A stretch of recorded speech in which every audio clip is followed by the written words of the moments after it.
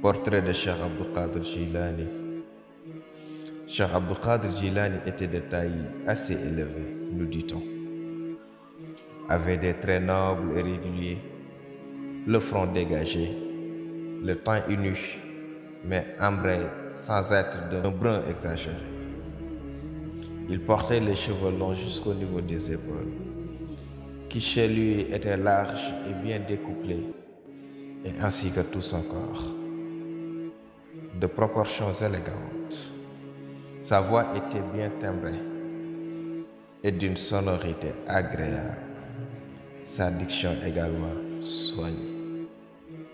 Ses regards étaient assurés et pénétrants, mais l'éclat lumineux de ses yeux chargé d'une particulière et divine spiritualité, en rendait presque impossible la contemplation prolongée. Vers un âge plus avancé, sa barbe était peu fournie, mais assez longue, grisonnante, et se terminait naturellement en pointe, modelant par sa finesse les contours précis du visage.